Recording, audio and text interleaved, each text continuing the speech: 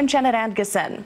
Well, it's been three months since the last of 2018's devastating hurricanes struck the southeastern United States, and farmers and rural communities are still hoping to see federal disaster relief funding.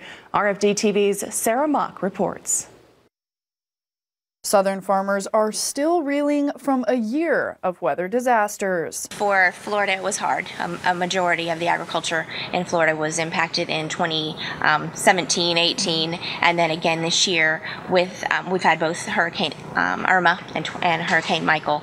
Farmers from the Carolinas to Louisiana say they'll be recuperating for years to come.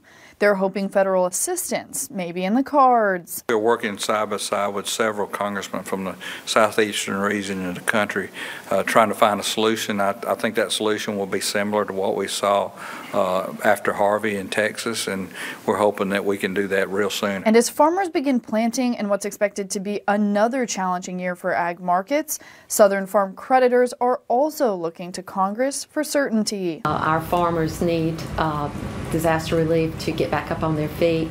With regard to the timing of it, uh, certainty of it coming would be great for us. We could help to plan uh, for that farmer. They are getting their operating loans at this point in time. It would give us a different feel for that balance sheet would change if we knew that a, a payment was coming in for that uh, disaster recovery.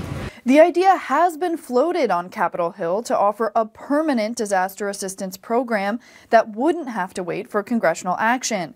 But farm credit experts are hesitant about moving away from traditional crop insurance. When you run into opportunities and, and crises like we're facing in the southeast with these multiple hurricanes and multiple floods, absolutely appropriate that Congress make a special program available for those people down there to help them recover. Um, but given the limited federal resources that are available to everybody, we, we really want to make sure that crop insurance program is available out there. A bill to end the government shutdown offered by Senate Republicans this week included $12.7 billion in funding for FEMA to address 2018 disasters. A recently passed House version included $14.2 billion, but neither is expected to become law anytime soon. For RFD TV, I'm Sarah Mock in Washington. Thanks for that report, Sarah. Now, the Hurricane Michael Relief Fund was set up within the Florida Farm Bureau to assist farmers that are still working through the recovery efforts. If you'd like to donate, visit Florida Farm Bureau.